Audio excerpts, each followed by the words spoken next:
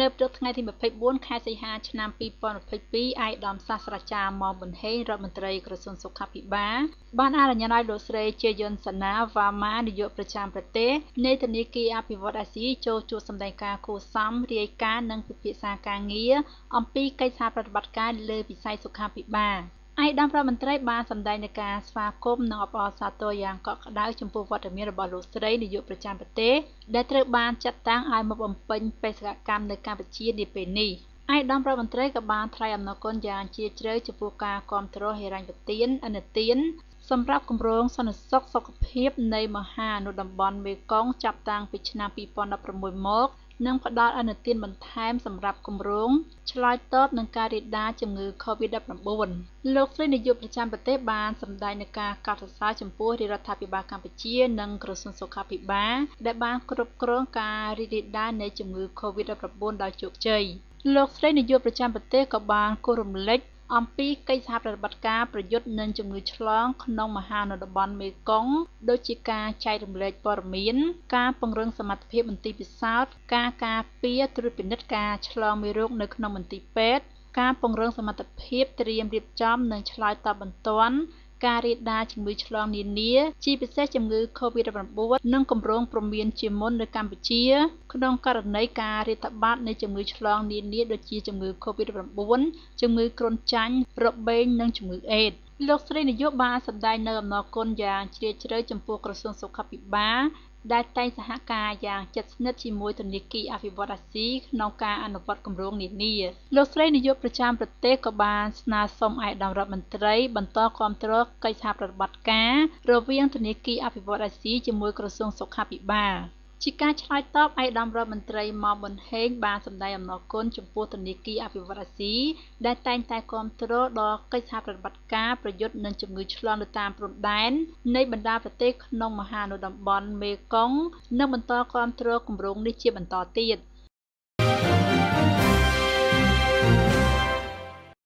ឯកឧត្តមអ៊ុតសំអនរដ្ឋលេខាធិការក្រសួងមហាផ្ទៃអញ្ជើញប្រកាសតែងតាំងគណៈអភិបាលរងខេត្តក្រចេះចំនួន4រូបនិងប្រកាសផ្ទេរតំណែងចំនួន1រូបនៅថ្ងៃទី24ខែសីហាឆ្នាំ2022លោកហងចន្ទឌីត្រូវបានប្រកាសតែងតាំងជាអភិបាលរងខេត្តក្រចេះ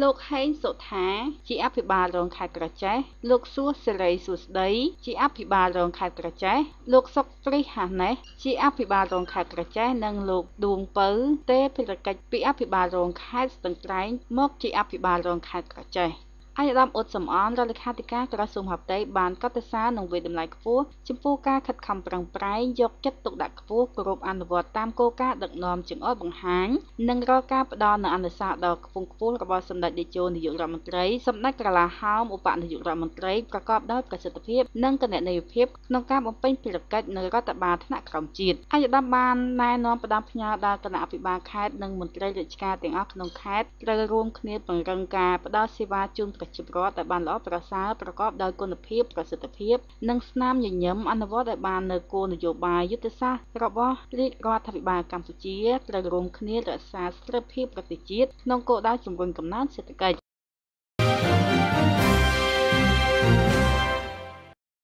ពិធីផ្សព្វផ្សាយការអនុវត្តរបបសន្តិសុខសង្គមផ្នែកប្រាក់សោធនសម្រាប់បុគ្គលិកទាំងឡាយដែលស្ថិតនៅក្រោមបទបញ្ញត្តិនៃច្បាប់ស្តីពីការងារ បានរៀបចំឡើងនៅខេត្តពោធិ៍សាត់ក្រោមអធិបតីភាពឯកឧត្តមអុកសំវិជាប្រតិភូរាជរដ្ឋាភិបាលទទួលបន្ទុកជាអគ្គនាយកបេឡាជាតិសន្តិសុខសង្គមនិងលោកជេងលៃអភិបាលរងខេត្តពោធិ៍សាត់លោកហៀបម៉ាណិតប្រធានសាខារបបសន្តិសុខសង្គមខេត្តពោធិ៍សាត់បានឲ្យដឹងថា ចាប់តាំងពីឆ្នាំ2018មកដល់ឆ្នាំ2022នេះមន្ត្រីសាធារណៈអតីតមន្ត្រីរាជការនិងអតីតយុទ្ធជន បានចូលប្រើប្រាស់សេវាក្នុងមូលដ្ឋានសុខាភិបាល ដែលបានចុះកិច្ចព្រមព្រៀងជាមួយរបបសន្តិសុខសង្គមចំនួន21960នាក់និងកម្មករនិយោជិតចំនួន36872នាក់បានផ្ដល់ប្រាក់បំណាច់ប្រចាំថ្ងៃចំនួន931នាក់ប្រាក់រាជរដ្ឋាភិបាលសម្រាប់កម្មករជាស្ត្រី ទាំងក្នុងនិងក្រៅប្រព័ន្ធនៅពេលសម្រាប់កូនចំនួន4698នាក់ចាប់ពីមានប្រកាសអន្តរក្រសួងស្តីពីការដាក់ឲ្យអនុវត្តរបបសន្តិសុខសង្គមផ្នែកប្រាក់សោធនសម្រាប់ជនទាំងឡាយដែលស្ថិតនៅក្រោមបទបញ្ញត្តិនៃច្បាប់ស្តីពីការងារសាខារបបសន្តិសុខសង្គមខេត្តពោធិ៍សាត់បានធ្វើការផ្សព្វផ្សាយបានចំនួន2លើក លើកទី1ចាប់ពីថ្ងៃទី6ខែឧសភាឆ្នាំ2022 ដល់ថ្ងៃទី28ខែមិថុនាឆ្នាំ2022បានអញ្ជើញម្ចាស់និងតំណាងសហគ្រាសចំនួន102សហគ្រាស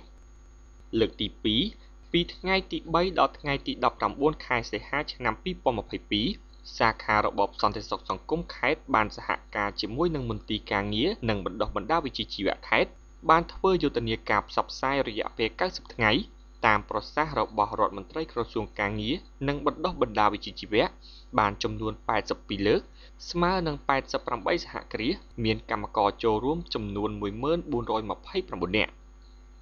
សូមបញ្ជាក់ថាចំពោះសហគ្រាសនៅតាមបណ្ដាស្រុកទាំង6បានចុះផ្សព្វផ្សាយរួចហើយនៅឡើយតែក្រុងពោធិ៍សាត់ប៉ុណ្ណោះ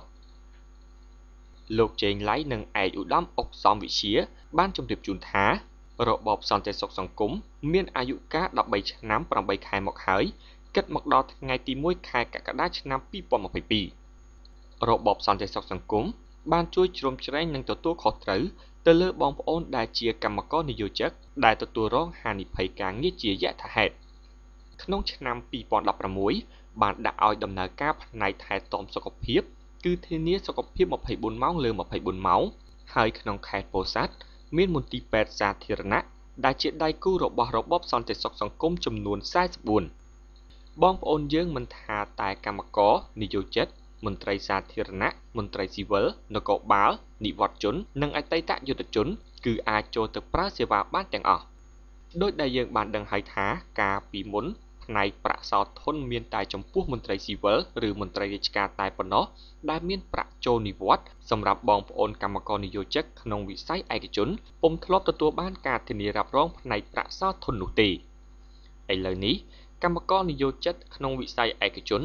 ដែលស្ថិតនៅក្រោមបទបញ្ញត្តិនៃច្បាប់ស្តីពីការងារទទួលបានប្រាក់សោធនដែរពិតជាគួរឲ្យកោតសរសើរខ្លាំងណាស់ សម្រាប់រាជរដ្ឋាភិបាលកម្ពុជា ក្រោមការដឹកនាំរបស់សម្ដេចតេជោហ៊ុនសែននាយករដ្ឋមន្ត្រីនៃព្រះរាជាណាចក្រកម្ពុជា